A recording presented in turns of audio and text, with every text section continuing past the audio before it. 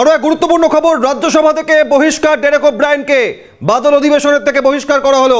তৃণমূলের রাজ্যসভা সাংসদ ডেরেক ব্রায়ন চেয়ারম্যানের সঙ্গে বাক বিতণ্ডায় জড়ান উপরাষ্ট্রপতি জগদীপ ধনকর রাজ্যসভার চেয়ারম্যান তার সঙ্গে বাক বিতণ্ডায় জড়ান এবং ডেরেক ও ব্রায়নকে এবারের সংসদে বাদল অধিবেশন থেকে সাসপেন্ড করা হলো, বহিষ্কার করা হলো ডেরেক ব্রায়নকে রাজ্যসভার অধিবেশনে ডেরেক ব্রায়ন রাষ্ট্রপতি, উপরাষ্ট্রপতি তথা রাজ্যসভার চেয়ারম্যান জগদীপ ধনকারের সঙ্গে উপরাষ্ট্রপতি তথা রাজ্যসভার চেয়ারম্যান জগদীপ ধনকারের সঙ্গে বাগবিতণ্ডায় জড়ান।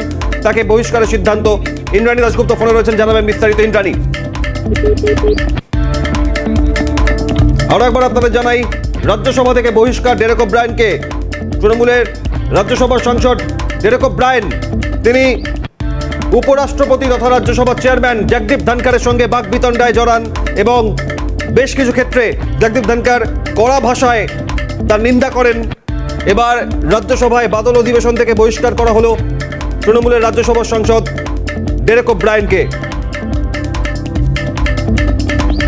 সংসদে বাদল অধিবেশন চলছে, সতেরো দিন ধরে চলবে এই অধিবেশন এবং একের পর এক গুরুত্বপূর্ণ বিল সেই অধিবেশনে পেশ করা হচ্ছে এবং দিল্লি অর্ডিন্যান্স বিল থেকে শুরু করে একের পর এক গুরুত্বপূর্ণ বিল কিন্তু ডেরেক ব্রায়ন তৃণমূলের রাজ্যসভার সাংসদ, তিনি উপরাষ্ট্রপতি তথা রাজ্যসভার চেয়ারম্যান জগদীপ ধনকারের সঙ্গে বাগবিতণ্ডায় জড়ান তাকে রাজ্যসভা থেকে বহিষ্কার করা হয়েছে। ইন্দ্রাণী দাশগুপ্ত দিল্লি থেকে ফোনে রয়েছেন। ইন্দ্রাণী, কি খবর পাওয়া যাচ্ছে সর্বশেষ?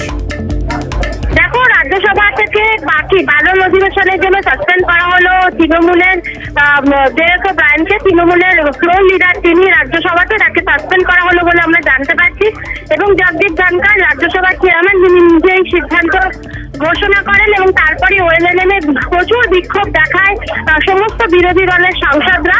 কিন্তু জগদীপ ধনকর নিজের সিদ্ধান্ত অনড় রয়েছেন এবং আগামী বাদল অধিবেশন, অর্থাৎ এগারো তারিখ পর্যন্ত যে বাদল অধিবেশন চলবে, সেই পর্যন্ত বহিষ্কার করা হলো ডেরেক ব্রায়নকে তোমাকে জানিয়ে রাখব, গতকালই যখন একদম শেষে, অর্থাৎ দিল্লি অর্ডিন্যান্স বিল দিয়ে আলোচনার সময় একদম শেষে যখন ডেরেক বলতে উঠেছিলেন, তখনই তার তার ব্যবহারে অত্যন্ত ক্ষুব্ধ ছিলেন জগদীপ ধনকর এবং তিনি বারে বারে তাকে সচেতনও করছিলেন যেরকম কথা বললে কিন্তু তিনি অত্যন্ত কড়া ব্যবস্থা নিতে বাধ্য হবেন এবং সেই পরিপ্রেক্ষিতেই আজকে আমরা দেখতে পাচ্ছি কিন্তু সাসপেন্ড করা হলো ডেরেক ও ব্রায়নকে একেবারে ধন্যবাদ ইন্দ্রাণী দাশগুপ্ত, যেমন জানালেন যে এগারোই অগস্ট পর্যন্ত চলার বাদল অধিবেশনে আর থাকতে পারবেন না তৃণমূলের রাজ্যসভার সাংসদ ডেরেক ব্রায়ন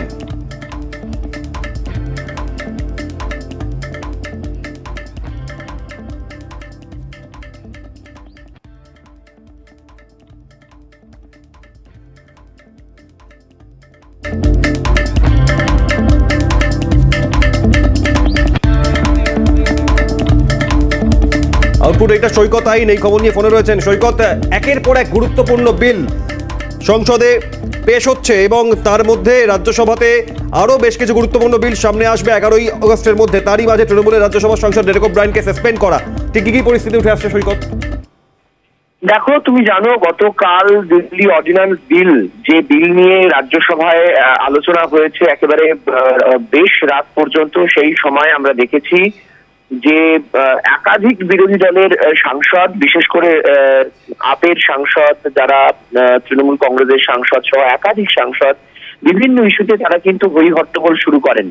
এবং সেই সময় আমরা দেখেছি যে রাজ্যসভার চেয়ারম্যান তথা দেশের উপরাষ্ট্রপতি, তিনি কিন্তু একেবারে উত্তেজিত ভাবে তিনি পরিষ্কার বারবার বলতে থাকেন যে আপনারা কেন রাজ্যসভার পরিবেশ নষ্ট করছেন, কেন শান্তিপূর্ণভাবে আলোচনা চলতে দিচ্ছেন না?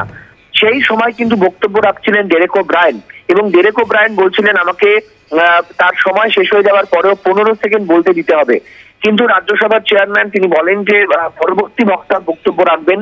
কিন্তু সেই সময় কার্যত অঙ্গভঙ্গি করতে শুরু করেন, চিৎকার চেঁচামেচি করতে শুরু করেন ডেরেকো ব্রায়ন যে ছবি প্রকাশ্যে এসছে, তাতে দেখা যাচ্ছে যে ডেরেকো ব্রায়ন অত্যন্ত, বা তারস্বরে স্বরে চিৎকার করতে শুরু করেন এবং তারপরেই রাজ্যসভার চেয়ারম্যান তিনি জগদীপ ধনকর তিনি কিন্তু একেবারে স্পষ্ট বার্তায় তাকে বলেন যে আপনার এটা সংস্কৃতি তৈরি করে ফেলেছেন আপনি যে রাজ্যসভার মধ্যে একেবারে হই হট্টগোল করে পরিস্থিতি খারাপ করা আপনি একদম রেওয়াজ তৈরি করে নিয়েছেন।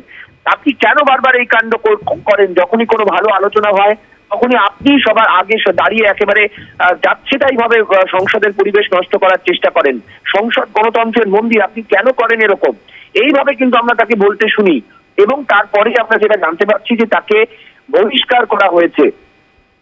তাহলে এই বিষয়টা কিন্তু খুব গুরুত্বপূর্ণ যেটা আমরা জানতে পারছি যে একেবারে পরিষ্কার ভাবে ডেরেকো ব্রায়ানকে সাসপেন্ড করা হয়েছে। আপাতত যে কারেন্ট পার্লিয়ামেন্ট সেশন চলছে সেই কারেন্ট পার্লিয়ামেন্ট সেশনের জন্য তাকে সাসপেন্ড করা হয়েছে। একেবারে। ফর ধন্যবাদ আউটপুট এটা সৈকত আইন যেমন জানালেন সাসপেন্ড করা হয়েছে এগারোই আগস্ট পর্যন্ত চলবে রাজ্যসভার বাদল অধিবেশন আর এই অধিবেশনে থাকতে পারবেন না ডেরেক ব্রায়ন বহিষ্কার নয় সাসপেন্ড করা হয়েছে বাদল অধিবেশনে ডেরেক ব্রায়নকে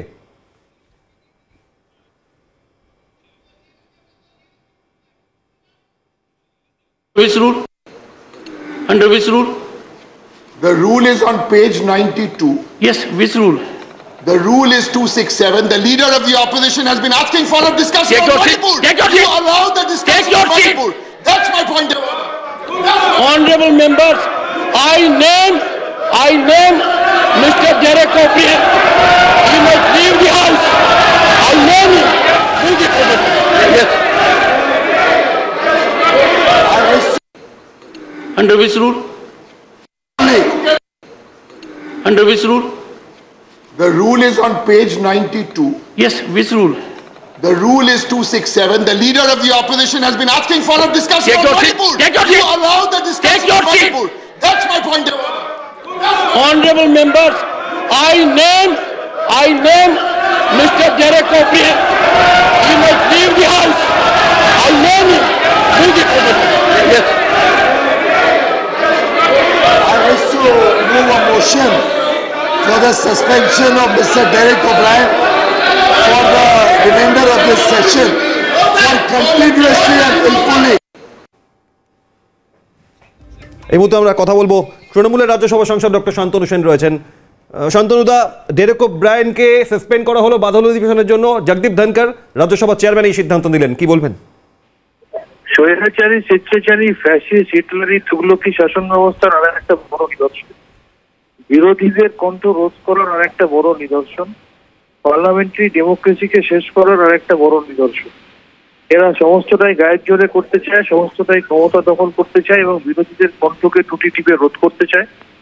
আজকে এই সেশনের প্রথম থেকে যখন টু সিক্স সেভেন নোটিশের মধ্যে দিয়ে আমরা যখন চাইছি যে মাননীয় প্রধানমন্ত্রী এসে এখানে মণিপুর নিয়ে ডিসকাশন করুক, তখন আমরা যখন সেই দাবিতে সোচ্চার রয়েছি তখন আমাদের বিরোধীদের কণ্ঠ রোধ করার জন্য আজকে যে জগদীপ ধনকর মহোদয় যে কাজটা করেছেন এটা আর একটা পার্লামেন্টের ইতিহাসে কালো অধ্যায় হিসেবে খচিত হয়ে থাকে। অনেক ধন্যবাদ, ডক্টর শান্তনু সেন। আমাদের সঙ্গে ছিলেন তৃণমূল সাংসদ, তৃণমূলের রাজ্যসভা সাংসদ ডক্টর শান্তনু সেনকে। ধন্যবাদ। আপনাদের জানাই যে রাজ্যসভায় বাদল অধিবেশন থেকে সাসপেন্ড করা হলো তৃণমূল সাংসদ ডেরেক ব্রায়নকে ঠিক কী পরিস্থিতি তৈরি হয়েছিল? রাজ্যসভার চেয়ারম্যান তথা উপরাষ্ট্রপতি জগদীপ ধনকর তিনি ঠিক কী বলেছেন? দেখুন। The rule is on page 92. Yes, which rule? The rule is 267. The leader of the opposition has been asking for a discussion Take on your. Manipur. Take your you seat. allow the discussion Take your on seat. Manipur. That's my point. Honorable members, I name, I name Mr. Derek O'Brien. He must leave the house. I name him. Leave the. Yes. I wish to move a motion for the suspension of Mr. Derek O'Brien for the remainder of this session for continuously and willfully যে পরিস্থিতি তৈরি হয়েছিল এবং তার পরিপ্রেক্ষিতেই বাদল অধিবেশনে আর সংসদে থাকতে পারবেন না ডেরেক ব্রায়ন সিদ্ধান্ত রাজ্যসভার চেয়ারম্যান তথা উপরাষ্ট্রপতি জগদীপ ধনকরের মণিপুর নিয়ে আলোচনার জন্য যে মন্তব্য করেছেন ডেরেক ব্রায়ন যা রাজ্যসভার নিয়ম বহির্ভূত, তার পরিপ্রেক্ষিতে তৃণমূলের রাজ্যসভার সাংসদ ডেরেক ব্রায়নকে বাদল অধিবেশনে আর তিনি সংসদ থাকতে পারবেন না এবং আপাতত বাদল অধিবেশনে সাসপেন্ড করা হলো মণিপুর ইস্যুতে রাজ্যসভায় তুমুল উত্তেজনা এবং ডেরেপুর ব্রায়নের এই মন্তব্যের পরিপ্রেক্ষিতেই তাকে সাসপেন্ড করা হলো। এগারোই অগস্ট পর্যন্ত চলবে এই বাদ- অধিবেশন বাদল অধিবেশনে আর থাকতে পারবেন না ডেরেক ব্রায়ন সাসপেন্ড করা হলো তাকে.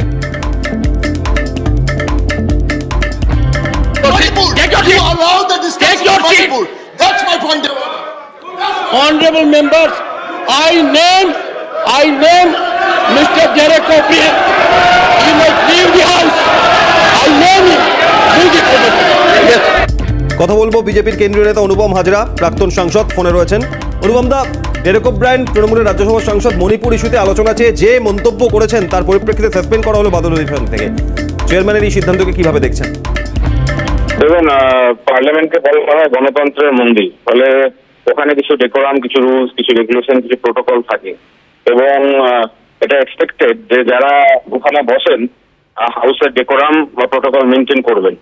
এখন যদি কেউ মানে পুরোটাকেই তৃণমূলের পার্টি অফিস ভেবে থাকে এবং সেখানে মাত্রাতিরিক্ত ঔদ্ধত্য দেখায় বা এমন কিছু শব্দ চয়ন করেন বা শব্দ প্রয়োগ করেন, যেটা হয়তো সংবিধানের বিরোধী বা ওই প্রতিষ্ঠানের অর্থাৎ পার্লামেন্টের গরিমার বিরোধী, তো সেক্ষেত্রে এই সিদ্ধান্ত নেওয়া ছাড়া কোনো উপায় নেই এবং ক্লাসে কোনো একটা বাচ্চা বারবার দুষ্টুমি করলে তাকে ক্লাস থেকে বার করেই দেয় মাস্টার মশাই। তো সেটাই করা হয়েছে অতএব এই সিদ্ধান্তকে স্বাগত জানাচ্ছি। অনেক ধন্যবাদ বিজেপি নেতা। অনুপম হাজরা ছিলেন। আপনাদের জানাই যে এই ঘটনায় ডেরেক ব্রায়নকে সাসপেন্ড করা হলো বাদল অধিবেশনে। কেন্দ্রীয় মন্ত্রী পীযূষ গোয়েল তিনি কি বলছেন দেখুন। Eric O'Brien be suspended from the services of the House for the remaining part of the current session for his unruly behavior unbecoming of a member of Rajya Sabha. Today, the 8th of August 2023, shouting slogans from the well of the House, thereby disregarding the authority of the chair and from his chair disregarding every instruction of the chair and bringing disrepute and shame আমরা কথা বলব CPIM নেতা প্রাক্তন সাংসদ সুজন চক্রবর্তী রয়েছেন ফোনে।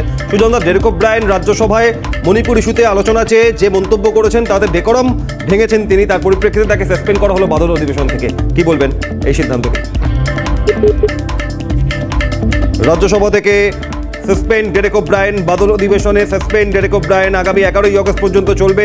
বাদল অধিবেশন। তাতে আর যোগ দিতে পারবেন না তৃণমূলের রাজ্যসভার সাংসদ ডেরেক ব্রায়ন মণিপুর ইস্যুতে আলোচনা চেয়ে যে মন্তব্য করেছেন তার পরিপ্রেক্ষিতেই রাজ্যসভায় সংসদে নিয়ম বহির্ভূত কাজ করেছেন ডেরেক ব্রায়ন ডেকরম মানেননি তিনি। তার পরিপ্রেক্ষিতেই তাকে সাসপেন্ড করার সিদ্ধান্ত নিলেন রাজ্যসভার চেয়ারম্যান তথা উপরাষ্ট্রপতি জগদীপ ধনখড়। বাকি বাদল অধিবেশনের আর তিনি যোগদান করতে পারবেন না রাজ্যসভায়। সেশন চলবে এগারোই অগস্ট পর্যন্ত। একের পর এক গুরুত্বপূর্ণ বিল লোকসভা এবং রাজ্যসভায় পেশ হবে তার পরিপ্রেক্ষিতে। ডেরেক ব্রায়নকে সাসপেন্ড করা হলো। অর্থাৎ ভোটাভুটি হলেও তাতে অংশ নিতে পারবেন না ডেরেক ব্রায়ন। রাজ্যসভায় সাসপেন্ড তৃণমূলের রাজ্যসভার সাংসদ তথা রাজ্যসভায় তৃণমূলের দলনেতা ডেরেক ব্রায়ন। সাসপেন্ড করা হলো বাদল অধিবেশনে আগামী এগারোই আগস্ট পর্যন্ত চলা এই অধিবেশনে আর যোগ দিতে পারবেন না ডেরেক ব্রায়ন মণিপুর ইস্যুতে আলোচনা চেয়ে যে মন্তব্য করেছিলেন তার পরিপ্রেক্ষিতেই রাজ্যসভার চেয়ারম্যান তথা উপরাষ্ট্রপতি জগদীপ ধনকর এই সিদ্ধান্ত নিয়েছেন ঠিক কী পরিস্থিতি তৈরি হয়েছিল ডেরেক ব্রায়ন এবং উপরাষ্ট্রপতি তথা রাজ্যসভা চেয়ারম্যান জগদীপ ধনকরের মন্তব্যে দেখুন discussion Take on your seat. Manipur. Take your you seat. allow the discussion Take your on. Manipur. That's my point. Honorable members, I name, I name Mr. Derek O'Brien. He must leave the house. I name him. Yes.